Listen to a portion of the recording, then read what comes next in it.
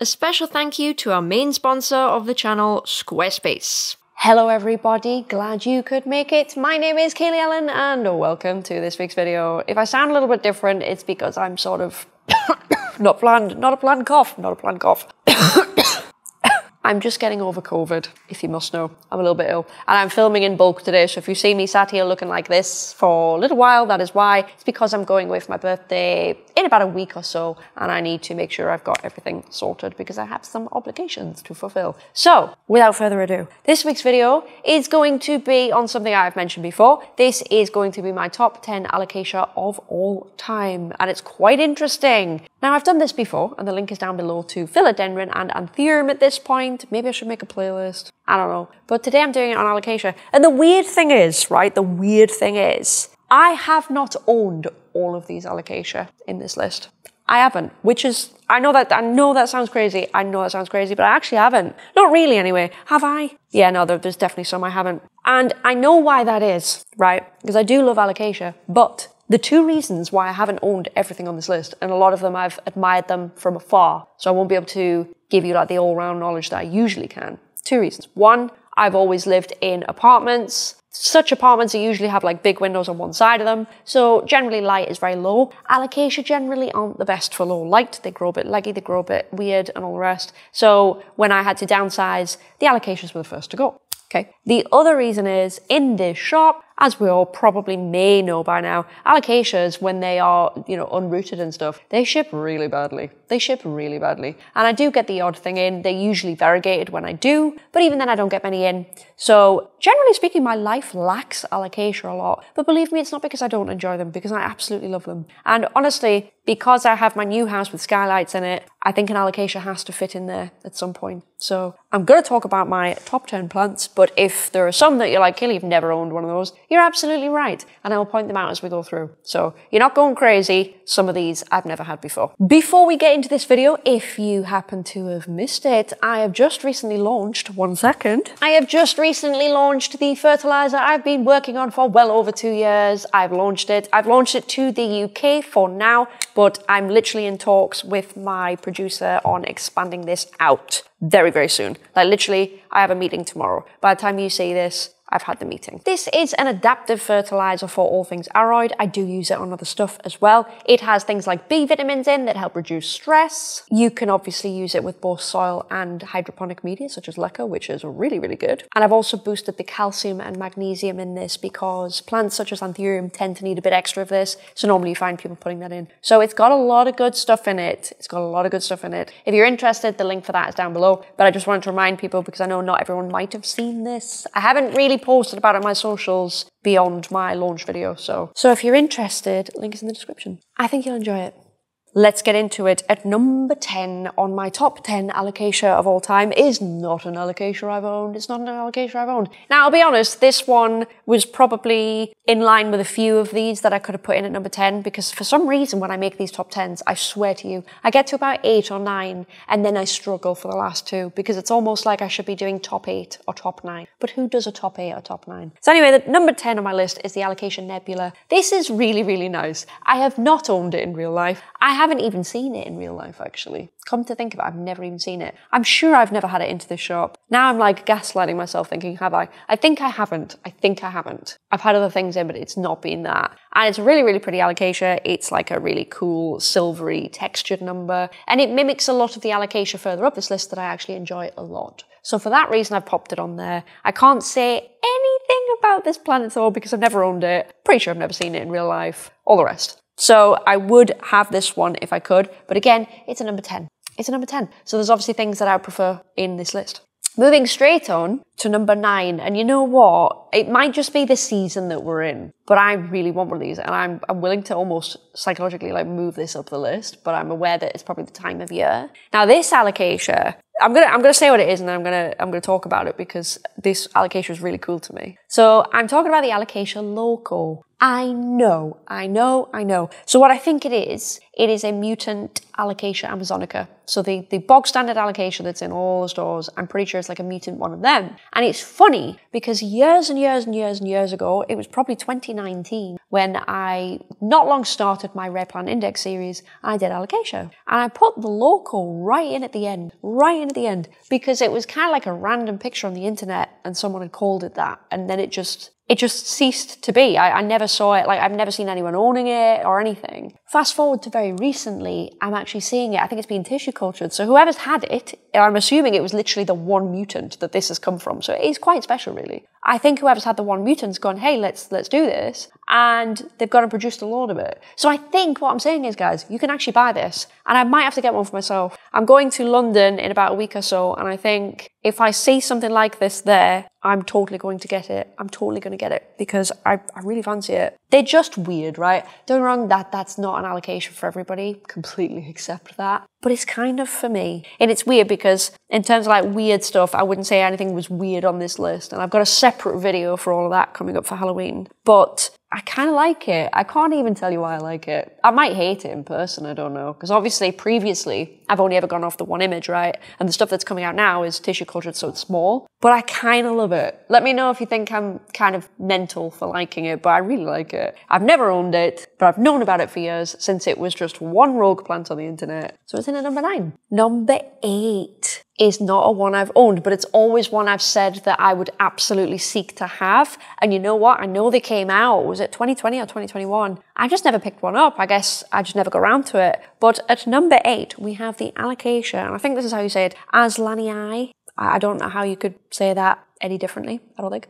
But it is, I actually don't have photos in front of me. How annoying is this? I only have a list. But it is like a pinky, glossy, is it pink? I mean, it's like a really deep fuchsia tone. And it's quite stumpy in nature when it grows. It's not like a big, you know, long petioles, big leaves. It is more, I think you call them jewel toned or jewel alocasias or whatever. In nature, it's a lot more compact. But obviously, I wanted this for the colour. I'm putting it on there because I, honestly, you guys know me well enough by now. A lot of you will. I'm not really a fan of pink. That's not to say I don't like pink stuff. I do, but it, it's really, there's a time and a place, and it, it highly depends on the plant as to if I like it. But the Azlanii is very, very nice. If I saw it in person, which again, I have not, would I change my mind? Maybe. I, I, think so because I do feel like a lot of the photographs on the internet are potentially colour popped a little bit. I don't know. If you own one, let me know. Sorry, I've got cat hair all over my skin and it's really, really irritating me. Good lord. People with long hair, do you ever just get, especially if you wear makeup, will you just get that one hair as well from your own head that sort of sticks across your, your makeup and you can't get it off? Pretty sure that's what's happening. Can I see it in my phone? Yeah, I can't see anything. Anyway, number seven. Now, number seven is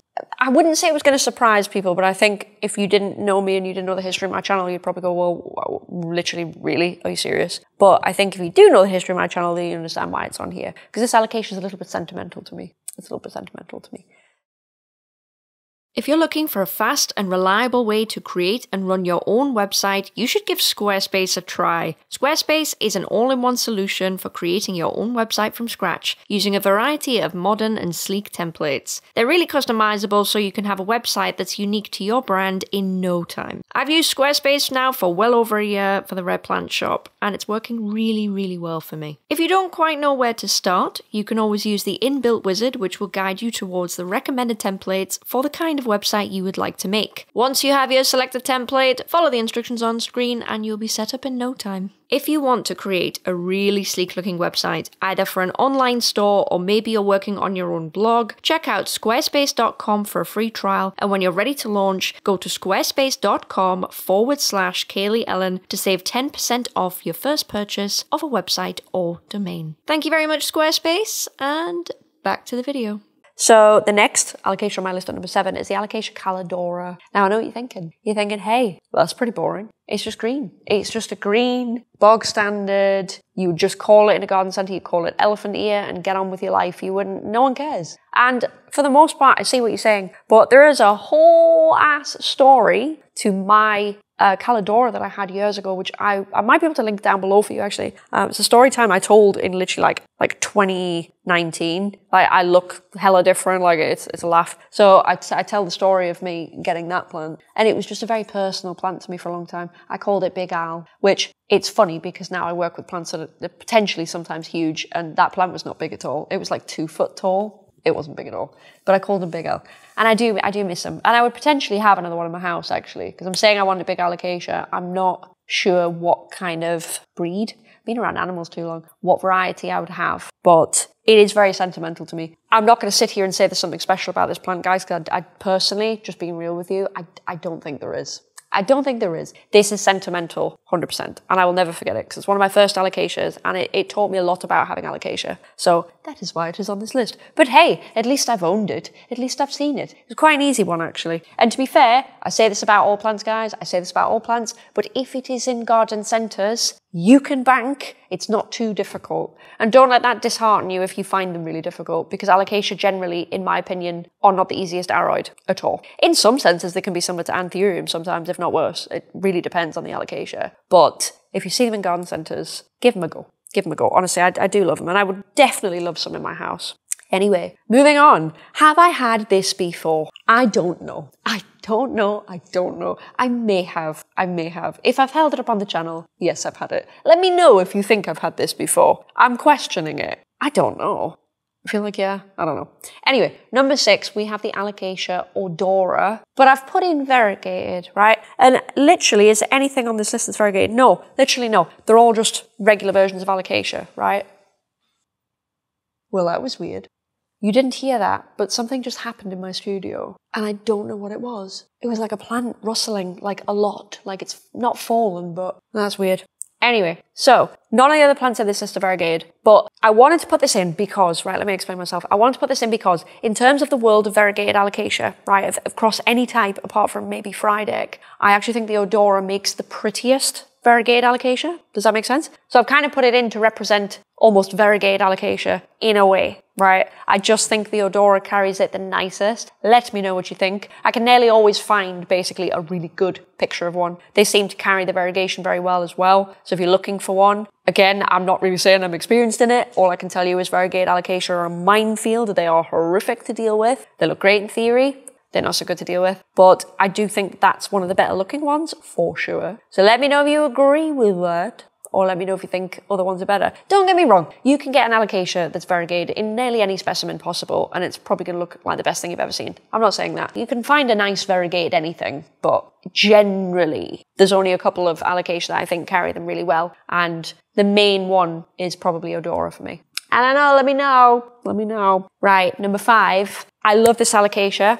It was one of it was one of the first plants I had where I started getting a taste for something unusual. And I don't think it was super unusual at the time, but it was before I got into rare plants, but I was starting to starting to break away starting to break away. And I saw these plants and I was just like, oh my God, that's, I've never seen anything so cool. And I remember it blew my mind because I didn't know you could get plants that looked like other things, right? It just, it absolutely excited me. I still get excited thinking about it, genuinely. And that was the Alocasia Stingray, guys. Now, I, I would love one of these back, actually. They, they can get quite leggy, though. It's not the best Alocasia in terms of lower light, for sure. You need, you need quite a lot of light for them because there's other ones, again, that carry it better at a lower light. Calidora probably is one of them. Bigger leaves, makes sense. A bit like Monstera. Larger leaves, maximize the light.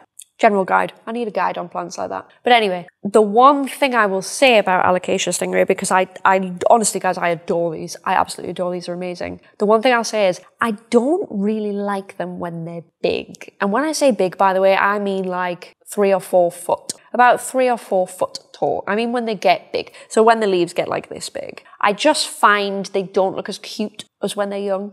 But I do love the plant and I would never never talk down the plant really. It's just something that I've noticed. Some plants, it's a bit like some philodendron perhaps. Some people like things more when they're, you know, when they're young rather than when they're mature. Some people prefer Florida Ghost, for example, when it's uh, immature compared to mature. There'll be loads of stuff like that. However, the stingray, I just I don't love it when it gets big. But I did put it at number five, and I have had experience with it. I think I've only ever had one plant, which is a shame because I, I do love that plant. And again, same reason as before. So why we haven't had many alocasias in here. It's genuinely why you don't see them much, guys. I, there are some. Like, is there one up there? Yes, there is. He's not doing so well. He needs he needs feed probably, but there's a variegated one up there. And it's got black stem on it. It's quite nice. Um, but it's why I don't keep them. Right. Number four, I I'm sort of cheating slightly because there's two on the list and I didn't really want to put one higher than the other because honestly, I genuinely feel in most people's minds that they're sort of the same. They're sort of the same. They're just different colors. So I kept them together because certainly in my mind they are. Now I think they always had the same value when they had their big like woo, like every plant ever has had. They had the same value, but I think I'm sure at one point there was one selling more than another, and I think the the green version came out quicker, which could mean that the silver version is a little bit more difficult, which I think it might be. But anyway, I'm talking about Bosch Bosch, the Alocasia Silver Dragon, and the Alocasia Dragon Scale. So obviously, Dragon Scale is green, Silver Dragon is silver. For all intents and purposes, it's silver. It's like a, I don't know, like a really light chalky grey colour anyway. Very, very beautiful plants. Again, it's a little bit like the Alocasia azlanii, where they're quite stumpy and, you know, just short, short and fat and juicy and almost succulent looking in nature sometimes. They're very, very similar to that. And I do recommend them. I really do. They, they don't handle being shipped very well, but again, Alocasia don't. Alocasia just don't. If you're ever going to buy an Alocasia, by the way, I'm almost going to advise, where possible, if you can actually pick it up from the shop in person, no matter how small it is, I would almost advise that sometimes because alocasia don't like being shipped. They hate their lives. So if you can avoid that, great. But I think for the longest time, I, I remember being around when these plants were about £80 each. Now, I, I suspect that's around about $100, something like that. Um, I can't remember when that was. Was it end of 2019? Very early 2020, maybe? I can't remember. There was a time when they, they went right up and then obviously they've come right down. I don't know what they are now. I do see them. This is the thing. I see them, but I still feel like I see the, the dragon more, the dragon scale more, sorry. I nearly said golden dragon. I feel like I see the green one more than the silver one, which again would support the theory that the green one is a bit easier. Do you see what I'm saying? There are many ways, guys, to work out if a plant is easy, and a lot of it is just actually just to see how available it is. That's the best tip I can give you to see how easy a plant is. Obviously, you can gather people's opinions, but hey, if one's more than the other, like in the case of these two, I'm just going to put a bet on that the green is easier. I'm just going to put a bet on. Maybe I'm wrong, but that's the bet I would put on if I if I was in doubt and I wanted to buy one in a shop. I didn't quite know which, and I guess I had some knowledge of where they were circulating but that's the thing. But I really, really love this planet. I have somewhere, I've got a dragon scale that is like neglected in a corner. I think it's in Chaos Corner. I've got a silver dragon upstairs that is actually quite leggy because I, I put it behind something and forgot about it, literally, I think when I was rearranging, and it's leggy but they're very, very good plants. I know the dragon, sorry, the silver dragon is slow growing for sure. I think the dragon scale is quicker. Could be another reason why you don't see the silver as much. But they're both good. Honestly, go with your colour preference because I think generally you should be alright with either. But that is why I put it on number four. Yes, I'm cheating. Yes, I've put two down, but let me know if you agree with me where you literally consider them kind of the same plant except one silver, even though they aren't. Let me know if you agree with me because I'm actually quite curious about that. Ah, I'm cheating again. I'm cheating again. So number three, there are kind of two plants and not everyone knows about this plant, but I've had a bit of heartbreak about this plant recently. Just, just a little bit, just a little bit. I hope these come back around. So the plant in number three is literally, this was like, I don't want to say it was rare, right? That's like a, word most of the time, right? But it was not very available at all when I first got mine and they were quite expensive. But then about a year later, when I was visiting the Netherlands, I think when I was doing the documentary and stuff, there was all, there was whole greenhouses full of them. Like it didn't end. It just didn't end. That, by the way, is the Alocasia zebrina, right? Beautiful plant. Absolutely love it. If you want a, an alocasia that's really arrow shaped, like literally like this, that's your boy. That's your boy. And obviously the, the, the, stems, the petioles look magnificent. Really, really good. They're not even too difficult either. Again, as evidenced by the fact they're everywhere. Very, very contemporary plant, that one. Really, really good. And they can almost get a bit leggy and sort of still sort of look all right. They're, they're not like stingrays. Stingrays are really bad for that. But the other plant I'm sort of adding on to it is the Zebrina reticulata, which I'm assuming essentially is just a mutant Zebrina. The how do you ever describe this kind of pattern? I've struggled with this for years, you know. I've struggled with this for years. Let me know if you've got a good description for it and I'll start using it. But it's like a it's I don't know I don't know how you describe this. It almost looks viral sometimes, but in a bit more of an intentional way because I don't like things that look viral generally. But this it looks just as it looks as I can't speak today. It looks intentional enough that that is the thing, right? Now I'm putting it in because I don't think everyone knows about it. I'm putting it in because I don't know how rare it is anymore. I feel like they started coming out, but they might be a bit more money. Don't know. Um, I had one for a while and everyone loved it. Everyone loved it. And I do remember when I kept telling you I'm not going to repot it. I'll kill it. I'm not going to repot it. I'll kill it. I'm not going to do it. I'm not going to do it. But I did and I killed it.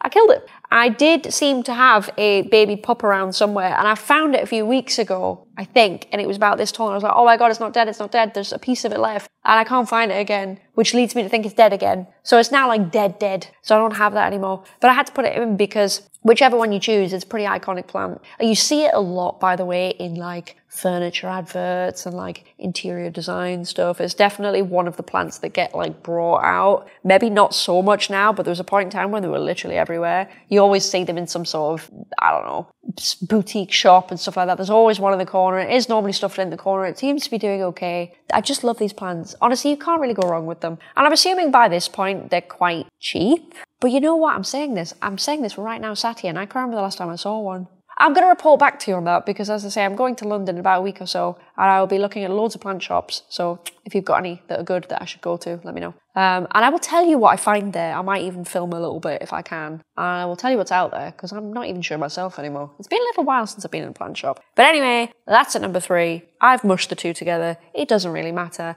I more wanted to mention the the reticulatus so that you knew about it because not everyone does. You know, not everyone does. Right. Number two. I would say that I haven't owned this plant, but then I remembered this morning.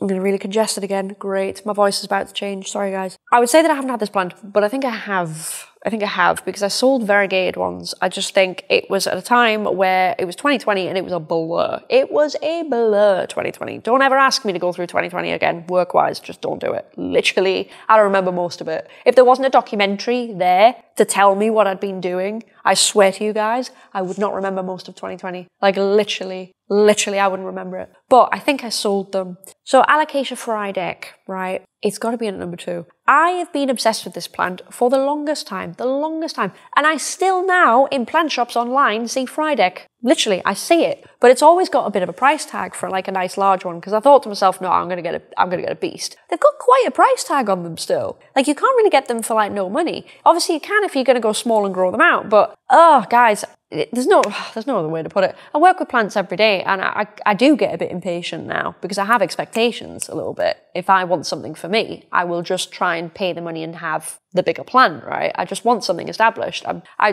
all I do every day is grow things from little cuttings, just for once. I want a big plan, right? But I keep saying them and they are quite expensive. I'm like, oh, and I really want to buy them. But because it's an alocasia, I just get a bit like, oh, should I, should I, shouldn't I, should I, shouldn't I? And it's a bit of a thing. But I think if I did, I've got to have a frydek at some point because I love them because they're very contrasty. They've got a lovely shape to them. They're velvet and they're really dark. Like these are a nice plant. Not only that, but I see frydek a lot on Instagram in big collections and stuff. And a lot of the time, collectors have, I don't say they've stuffed them into a corner, if you know what I mean, but they're not in like optimal places, you could say. Now, they might have been positioned for a photo. It's Instagram, who knows?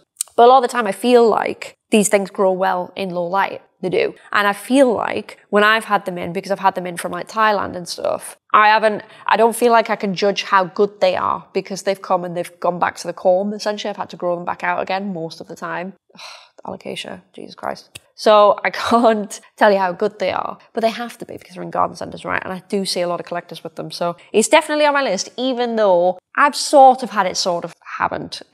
You be the judge of that. I definitely had some variegated ones in definitely, but they were a nightmare to grow out. But again, they came with no root. They went back to the corm. I think that might be one. Was that one in the documentary that Ben just just literally just pulled in half? There was one. I remember we were packing once. It was in front of house in there, and he pulled. He just pulled it off the root, the the corm. Do you remember that? Does anyone remember that? Let me know what plant that was if anyone wants to go back and watch that little section. I think it's in episode three. Episode three. Right. That leaves my number one. Now, if you have a keen uh, interest, I suppose, in, in my channel and the, the things I like. Hopefully you've noticed that there is one missing. Again, I don't talk about alocasia as much as the other plants, so you'd be forgiven for not realizing. But the plant I have to put at number one, it just speaks to me. It is shorter, it is darker, it's got a very unique look and feel and pattern and everything. And I just feel that in terms of a stumpy alocasia, this is the one. I'm a sucker for dark foliage, guys, honestly. I don't know what kind of person people think I am, like, outside of the shop, but I'm, I'm a little bit dark, I'm a little bit spicy. So I really, really like that kind of plant. I like my variegates, but I really like dark things, right? That is my vibe. Like, I would love a goth plant room. I might have to do it one day, literally. But the plant I've got in at number one, which I'm obsessed with, and I have one upstairs and it's in really bad shape. Disclaimer, I need to fix that because it's in the pot with the silver dragon and it's just as leggy because it got left behind something for like God knows how long. But the plant in my number one is the Alocasia Black Velvet. Guys, this plant, this plant, I adore this plant. It's wonderful. It's easy to grow. It looks cute. They pop quite well, I think, so you can make more of them. I do actually have experience with this plant. I think I got one a long time ago, long, long time ago, maybe 2019, early 2019 as well. Um, could have even been 2018, who knows? Um, and then I've had one, I had to buy one off eBay, funny enough, uh, was it last year or the year before, to have it here because nowhere was selling black velvet. Now, since I've seen them, so I can either do some with that or I can leave it and just let it live its best leggy life and get another one, you know, for the house. But I really, really want one in the house. I really, really want one in the house. And I think it's great because it's not going to get really big and leggy. It can, and I'll have to show you at some point because, uh, guys, I'm not making this up. They do not look good up there. But they can just look really, really nice. And they're one of my favorites. And they're black. It's black. It's black. And I always say this, but the pattern on the leaves looks a lot like tire tread. Maybe it doesn't. Maybe it just does for me. But I absolutely love it. So without a doubt, that is my number one alocasia. Now let me know what you think of this list because I appreciate I have not owned all of them. Hopefully the reasons that I haven't owned a lot of these plants have become clear to you, i.e. it's a light thing and a shipping thing. But that is my list and that is what I'm sticking to, with the exception of number 10 that could honestly, it could probably be interchanged with something else. And there was a few that I liked and I just thought, mm, let's just leave that one in because I always did like the nebula. So without further ado, thank you very much for watching this video. Please leave in the comments below your top three. I don't expect anyone to write top tens, okay? You can if you like, don't get me wrong. But either write your top three or your top alocasia of all time because I did this on my other videos and it's quite interesting because I think was it philodendron? I, I, had a lot of people agreeing with me on most things, I think. Generally, they would, they would say their top 10 was similar in a lot of ways. So I'm curious to see what alocasia is like because I haven't delved into the world of alocasia very much. So a lot of you guys are more expert than me on alocasia, if I'm honest. So let me know what you think about that. I'm genuinely quite curious. But anyway, that's it for this week's video. I'm going to love you and leave you. If you're curious about this feed and you want to know more, visit nurturesystem.co.uk or the link is in the description literally. And you can buy it if you're in the UK. It will expand very soon. I will let you know, I promise you. And if you'd like to see any more of my content, then please feel free to subscribe. That's it for this week's video, guys. I will love you and leave you, and I will see you in the next one. Bye.